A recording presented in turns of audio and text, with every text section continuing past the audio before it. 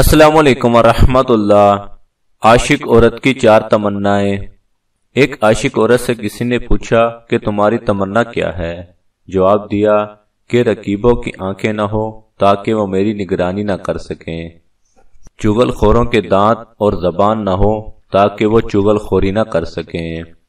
दौलत वालों के पास गरूर न हो ताकि वो आशिक की इज़्ज़त करें, उसको खरीदने की कोशिश न करें। और हसदीन के जिगर व कल्ब न हो ताकि वो हसद न करें।